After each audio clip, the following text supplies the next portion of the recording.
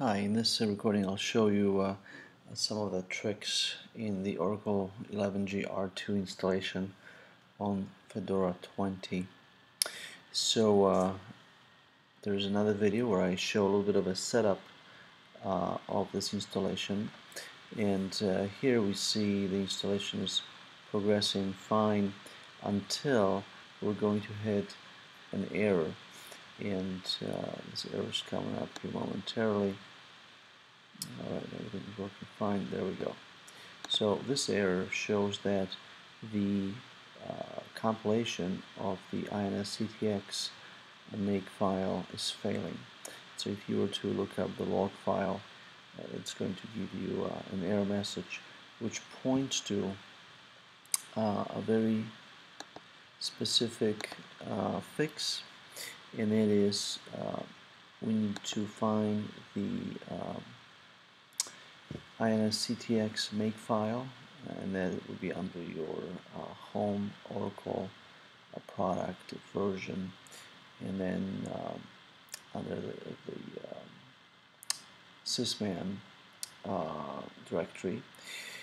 But before you can do that you have to install a couple of uh, glib uh, static packages. And so that's what I am showing you how to do right now. We are going to log in as root and install the glib uh, both 64-bit and 32-bit versions. So I'm going to uh, forward through this. Uh, obviously I uh, was recording as I was doing that. So now we'll go ahead and uh, edit the file uh, which is causing current error and there are actually two files in this uh, code line that we'll have to edit. The first one, uh, the ins underscore ctx make file, and here you're going to add the keyword static uh, in front of uh, uh, linking of uh, the library. Alright, so we'll search for ctxhx, there it is, and we're going to add the dash static in front of it. And so you'll find uh, you'll find some of uh, the syntax in the about to this video. Alright, and so after completing this line, we're going to go ahead and save the file, and then we'll continue to the next file which needs to be added. By the way, you might have to restart the installation after making these uh, changes. Uh, just pressing retry uh, will actually not uh, work. So make the changes, stop the install, and then restart it again. There are some other tricks uh, like the uh, TMP environment variable needs to be pointing to an actual directory uh, in Fedora 20 instead of the slash tmp. Also pay attention to the kernel parameters which can be fixed right from the installer. Okay, so now we're going to look for the um, uh, make EM agent or enterprise manager agent entry, the NMETGCTL, and make sure to enter here LNNZL11 mistakenly here I'm entering LNZL1 uh, some of the instructions actually looks like an L. Should be two ones at the end. Otherwise uh, you end up uh, with another error. Okay so with this in place this is the error that we are addressing. And now uh, we can uh, continue to video here of uh, the installation. Let's see, we have configuration pending. I'll forward through this. All right, and here is another error. This particular error is call, caused by uh, incorrect kernel configuration. Uh, and uh, I'll show you where this is uh, located. Okay, this particular kernel configuration will be under etc.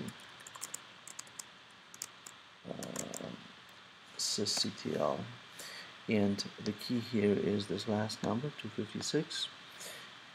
Your default config might be 100, 128, 128, 128.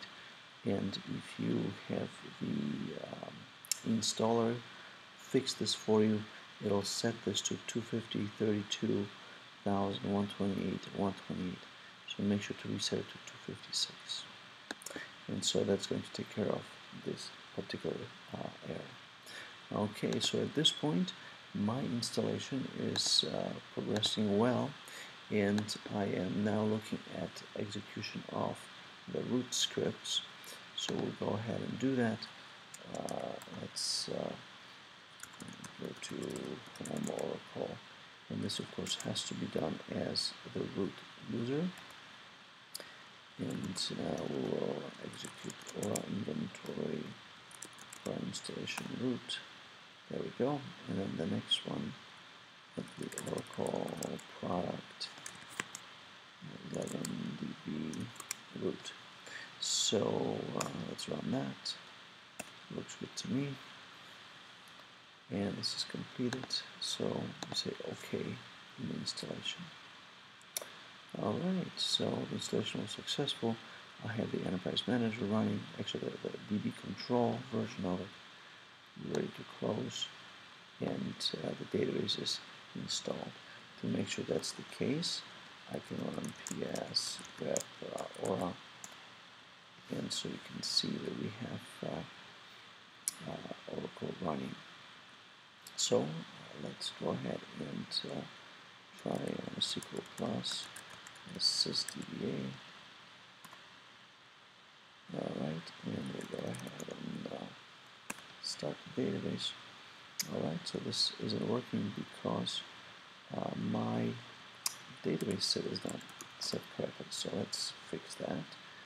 Uh, export Oracle SID is going to be ORCL. That's the name of my database. Let's try that again. And uh, you can see here that uh, I have the database running. I can say something like set all. Alright, and that is operational. I can uh, further go in here and uh, take a look at uh, the processes running on the system and so uh, let's see here we have the firewall let's go down. There's uh, Oracle logged in virtual box running.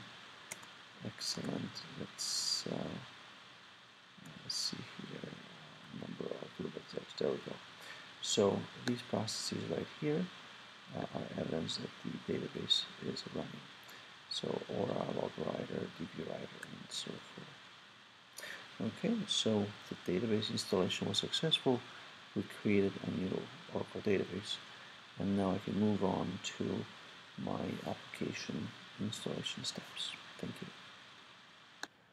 Okay, so now let's go ahead and um, back up this database. Uh, to start with, we'll shut it down Let's do that now. Shut down immediate. So this is going to uh, cleanly shut down the database. Since the database right now is not in archive log mode, uh, any problem uh, with data would prevent uh, recovery. So we have the database shut down. Let's go ahead and back it up. I believe that our files are under home Oracle and then app and then uh, Oracle again, and then Aura data. So here is the key set of files. Um, and the name of my database is ORCL. So the database has to be shut down in order for the backup to be possible and for the backup to be clean. So I'll go ahead and just, uh, I could do a copy uh, or I can just do uh, tar czvf, so create a tar compressed, and we'll call that uh, empty db. Um, the name of the database is ORCL.